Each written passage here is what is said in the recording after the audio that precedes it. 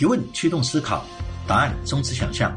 你好，我是关书哲，欢迎收听我的有效提问三十讲。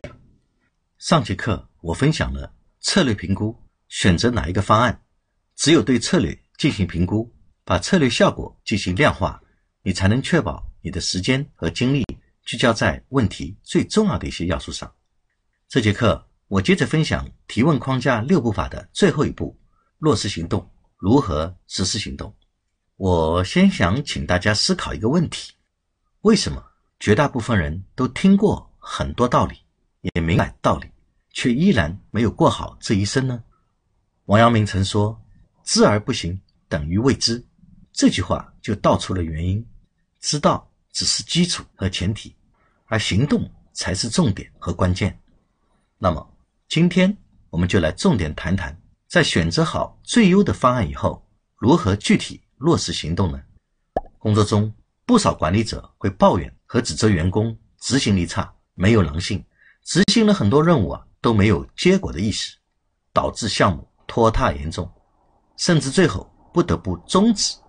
可如果你再往深层次去想一想，为什么这些员工没有很好的落实行动呢？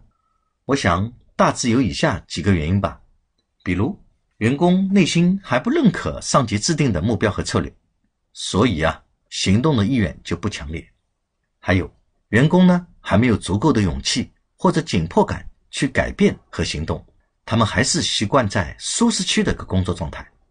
还有呢，员工就是没有预见到行动上未来可能出现的一些障碍，过于乐观了，最后发现啊根本做不到。最后，员工行动的时候啊单打独斗。没有想到过要寻找其他人的一些帮助，那么作为管理者，如何才能做到既不把自己的想法强加给下属，又能激发对方的一个执行意愿呢？我的建议是，你可以在下属行动以前，通过教练式的提问，帮助他来规划他的行动计划。回忆一下我们上两篇讲到过的一个 R 品牌的一个案例，经过策略评估以后啊。老秦团队制定的三个主要策略是：第一，推出二十八寸以上的大尺寸的箱包；第二，新箱包要比竞争品牌更加耐摔；第三，在设计上实现更好的收纳的功能。箱包啊，不仅可以放更多的物品，还需要按照物品的类别来进行存放。策略明确以后，老秦就需要团队来制定行动计划了。这个项目啊，当时就交给了产品经理小李，由他负责牵头，来协调各个部门的相关人员，确保顺利上线。这就意味着小李需要把三个策略分别转化为行动计划。因为时间限制，这次我将聚焦在第一个策略，推出二十八寸以上大尺寸的箱包，来给你详细的一个阐述。如果你对其他两个策略转化为行动计划也感兴趣，欢迎你在留言区分享你的想法。好，我们回到第一个策略，推出二十八寸以上的大尺寸箱包。如果你是老秦，你该怎样和小李对话呢？事实上，规划和落实行动大致可以关注以下五个关键点，他们是步骤、责任人、支持、完成时间和意愿度。你可以在这节课的一个文字稿里面看到这张图。那么。根据这个五个关键点呢，老秦啊可以依次向小李来进行提问。你可以边结合图来边听我这个接下来的一个分享。第一呢叫步骤，所谓步骤就是询问所有为完成目标必须要做的一些关键的事情是什么。比如老秦可以问：根据刚才说的策略，你要怎么做呢？第一步的行动是什么？然后呢？小李回答说。第一步啊，我们要做用户的需求调研，然后呢，要做产品的创意。产品的创意啊，是开发新产品的关键。接着呢，要实施新产品的设计、样品测试和小批量生产。我来解释一下，为什么老秦问小李要做什么，而不是问他小李你想做什么？是要做什么，不是问他想做什么，是因为要做要比想做听起来更加坚定。接下来，老秦可以接着问。如果对行动的重要性进行打分，一分到十分，分别是多少分？为什么？这个提问的目的啊，就是让对方自己对行动的重要性进行排序。一分是最低，十分为最高，确保日后最重要的行动不能被耽搁。小李回答说：“第一，用户调研需求重要性十分，因为这是项目成功最为关键的一步。第二，新产品的开发构思的创意重要性十分，因为创意不足就会无法形成清晰的产品概念。第三，新产品设计重要性九分，因为产品设计任务书确定以后啊，就要开始一系列的技术工作的准备。那么第四，样品测试小批量生产重要性八分。”只要前面几个行动做好，生产环节啊基本不会出什么问题。好，那么五个关键点，第二个关键点叫责任人啊，英文叫 responsible person。责任人啊就是要问每一个具体步骤谁负责。这个时候老秦就需要问谁将负责工作步骤的整体规划呢？之后每一个步骤又由谁来负责呢？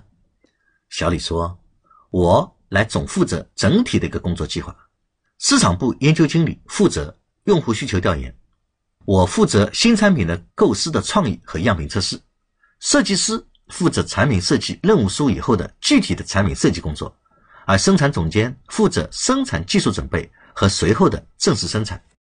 五个关键要素的第三个是叫支持 （support），支持就是指负责人希望什么样的帮助，以及谁可以提供帮助。那老秦就可以问。你需要哪些人知道这个行动计划呢？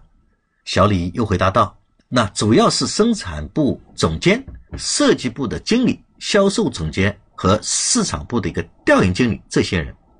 那么这个提问啊，主要是保证信息的一个畅通。如果相关同事很晚才知道计划呀，那么这样就会影响项目的一个上线的时间。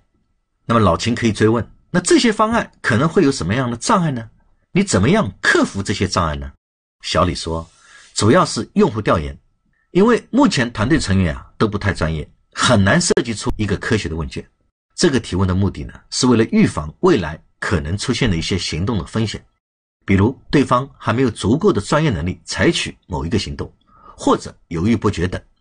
这样通过教练的提问呢，就可以有效的事先进行管理和预防。老秦再追问。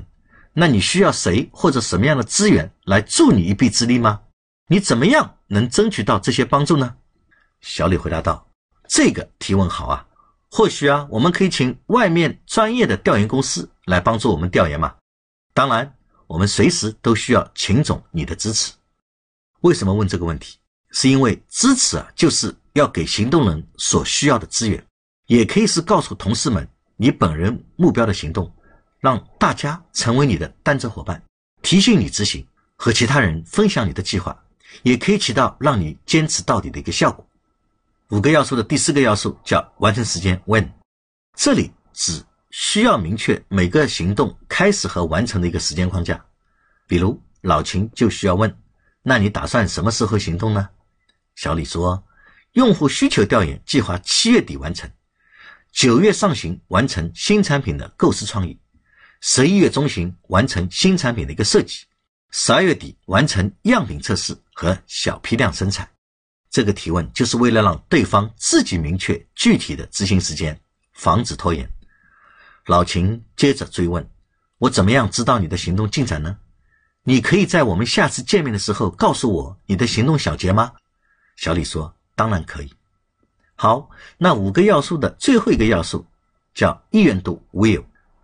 那最后呢，就是要确认和强化下属的一个执行意愿，询问对方有多大的一个意愿去执行行动计划。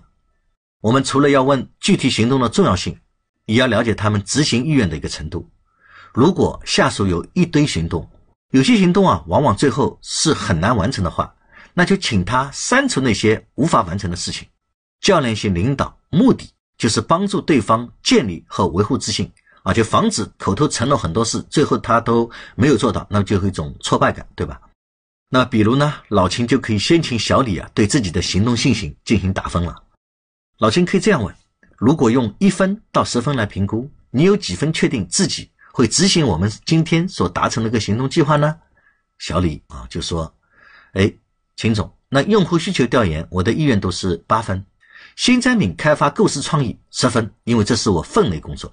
那么新产品的一个设计九分，这个我会尽力推动设计师，而生产技术准备十分，因为我和生产总监关系啊相当好，他应该会很好的配合生产的一个工作。这时候老秦就需要追问了：是什么阻碍你对客户调研这个事情打十分呢？小李说：因为我们公司过去没有直接做过调研，大家都不太清楚这个事情如何做，所以老秦就可以接着问：那你打算如何克服这个障碍呢？小李接着回答说：或许啊。我可以请外部专家，如果关老师团队你们愿意推荐一些专业的一个调研公司或者专家给我们的话，我们就更有信心了。你看，在这个提问中啊，如果对方给自己打分小于八分，那其实你就可以尝试降低任务量，找其他人协助，或者延长行动的一个时间期限。如果打分依然低于八分，也就意味着对方其实是不太可能最后完成行动计划的。这个行动就可以放弃了。那么今天的要点小结是：知而不行等于未知。只有当下属自己有强烈的意愿去执行，那才会真正提升执行力。而规划和落实行动计划主要有五个关键点：第一叫步骤，所谓步骤就是询问所有为了完成目标所必须做的每一件事情；第二责任人，责任人就是要问每个具体步骤谁负责。